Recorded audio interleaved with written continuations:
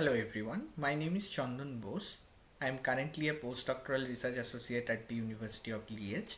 Today I am going to talk about three-dimensional simulation of flow field around a flapping foil using immerse boundary solvers of OpenFOAM.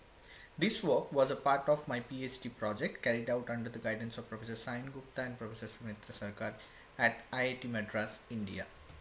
The main motivation behind this study is the idea of biomimicry, the key point of which is the design of nature-inspired flapping wing micro-air vehicle. These man-made devices are particularly very much useful in the hazardous areas which are inaccessible to humans and where the conventional fixed wing and rotary wing small aerial vehicles fail. In the right hand side, you can see one such example of dragonfly inspired micro air vehicle developed in our group and below are two very well known examples the first one was developed at Harvard and the second one known as Delfly Micro was developed at TU Delft. Flapping airfoils can generate a wide variety of wake pattern in 2D depending on the frequency and amplitude of the motion. In this case, the non-dimensional plunge velocity kh which is a product of reduced frequency k and the non-dimensional stroke amplitude h is considered to be the control parameter to classify the wake patterns. In our earlier studies, we have showed that as we increase this non-dimensional plunge velocity from 1 to 2.5, we see an interesting chaotic transitions from a periodic reverse von Karman wake. We have also identified that the leading edge separation plays a key role in introducing the very fast aperiodic trigger in the unsteady flow field. Now the question arises is this aperiodic transition route also observed in the 3D flow field behind low aspect ratio flapping wings or is it only observed in two dimensional flow field? Now on the computational front there are two different CFD strategies and based on that there are two different class of CFD solvers available in OpenFOAM to study the present problem. The first one is the body conformal mesh methods or the body fitted mesh method such as arbitrary Lagrangian Eulerian formulation in which the body is inherently a part of the mesh and to capture the body motion the mesh needs to be deformed or remeshed at every time step. On the other hand, non-body conformal mesh methods such as immerse boundary method does not require the background mesh to be deformed at every time step to capture the body motion. The body motion is captured through a set of Lagrangian markers over this stationary Eulerian background mesh. IBM was originally developed for simulation of cardiac mechanics and associated blood flow by Charles Peskin. In the present investigation, IBM methodology has been chosen because it reduces the computational cost significantly as compared to the other body fitted mesh methods. It has certain advantages over the body fitted mesh methods such as the grid generation is very much simple in case of IBM even for very complex geometries. Also, inclusion of body motion is relatively easy due to the use of stationary Eulerian background mesh. However, the imposition of boundary conditions at immerse boundary is not so straightforward and there are also challenges with grid resolution control in boundary layers which can lead to unphysical spurious oscillations in the results. Moreover, currently IBM is limited to low and moderate Reynolds number flows for accurate results. Over these years, immerse boundary methodology has been evolved in different stages. The present immerse boundary framework can be broadly classified into two different components. One is continuous forcing approach, other is discrete forcing approach. The discrete forcing approach can be again classified into two different strategies based on the imposition of the boundary condition. One is indirect imposition of boundary condition, other is direct imposition of the boundary condition at the IB points. The discrete direct forcing strategy provides a sharp representation of the boundary surface and hence it has been adopted in the IBM solver of OpenFOAM. The IBM framework of OpenFOAM as mentioned is composed of a discrete forcing direct imposition approach. There is no added forcing term in the momentum equation. The dependent variables in the IB cell centers are interpolated from a neighborhood stencil as shown in the picture. The boundary conditions are applied at the immersed boundary points and a weighted least square interpolation method is used in this regard. The generic algorithm of IBM based Navier-Stokes solution is as follows.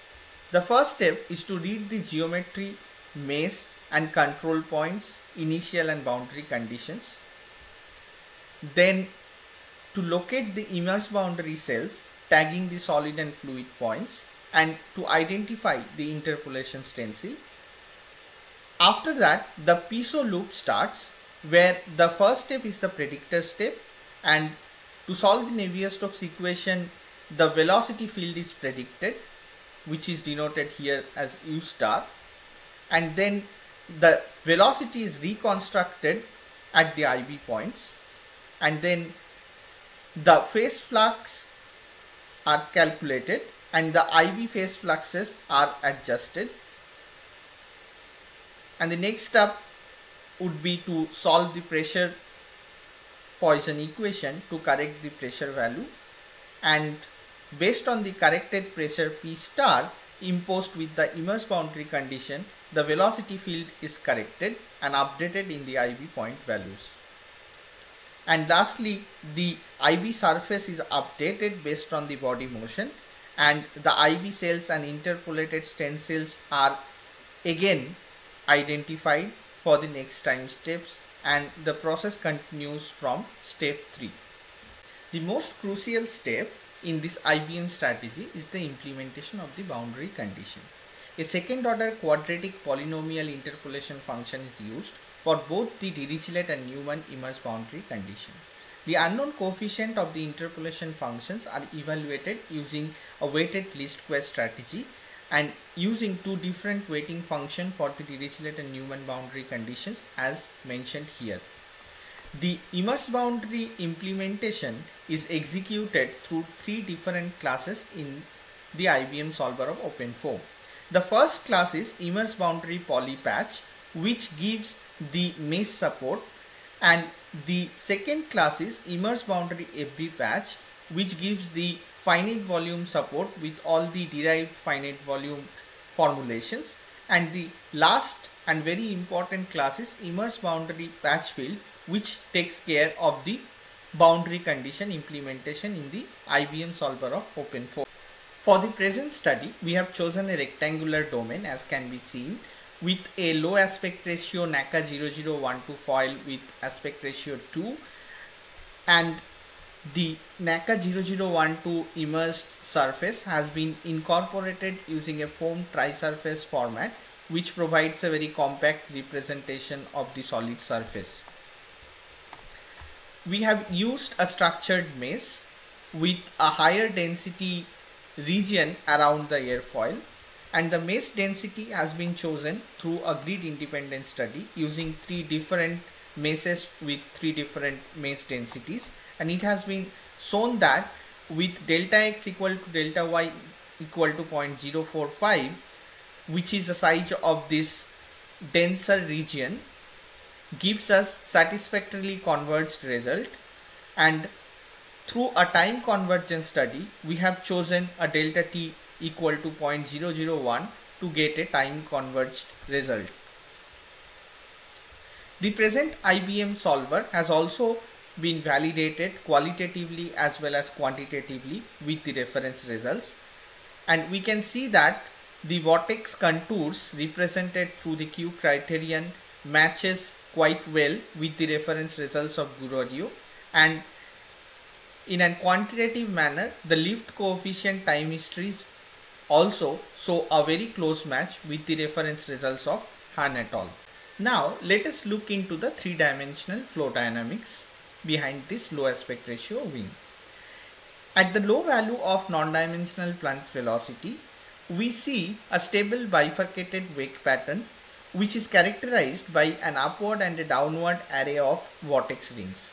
A similar drag to thrust transition is observed. The drag producing bifurcated wake is characterized by the array of vortex rings with an inward normal vector whereas the thrust producing bifurcated wake pattern is characterized by an array of vortex rings with an outward normal vector.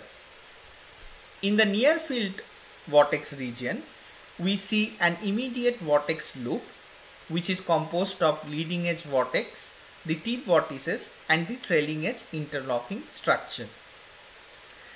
It should be noted that this 3D wake pattern is very much stable as compared to the 2D cases as you can remember that at k is equal to 2 a chaotic flow field has been presented in case of 2D whereas in case of 3D we see a very stable bifurcated wake pattern. Hence it is very much evident that the bifurcation's boundaries are significantly different for 2D and 3D cases.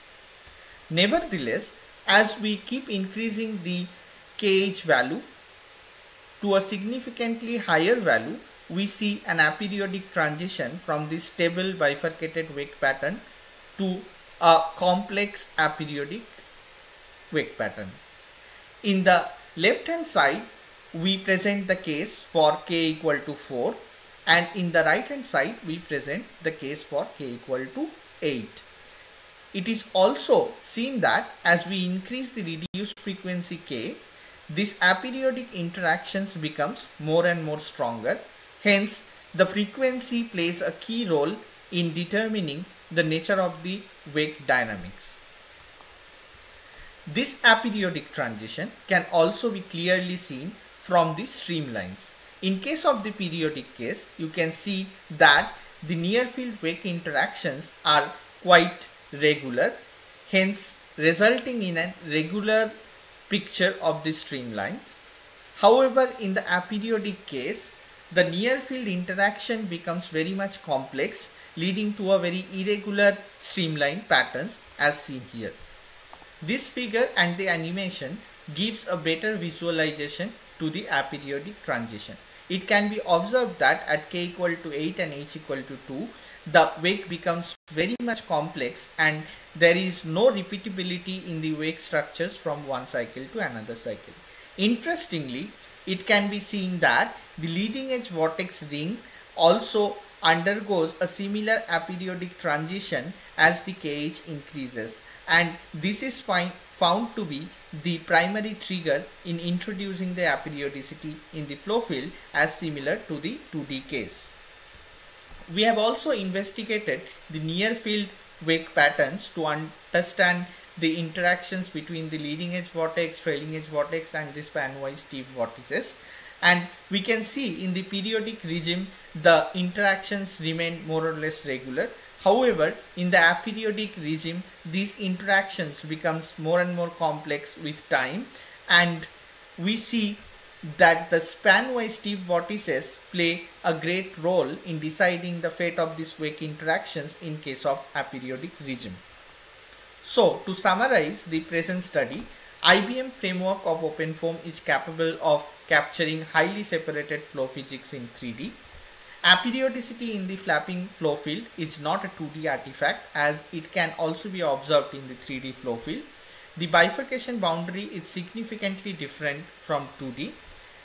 LEV remains the key trigger for introducing the aperiodicity in the flow field and the newly developed immerse boundary surface strategy is more stabilized framework for investigating multi-phase flow and the turbulent flows.